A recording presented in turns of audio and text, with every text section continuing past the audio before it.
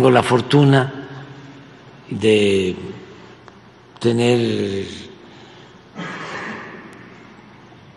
cuatro hijos que los quiero mucho. Ya ven que los padres no podemos hablar mal de los hijos, ¿no? Siempre nuestros hijos son los mejores. Pero estos, estos se han portado muy bien porque han aguantado todo. Este y son honestos, no son corruptos. De ahí fue donde se equivocó, entre otras cosas, ¿no? Lore de Mola,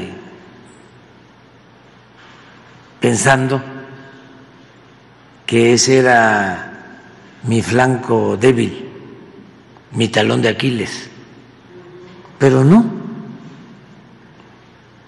resulta que son honestos mis hijos. Y me da mucho gusto y mucha satisfacción. Eh,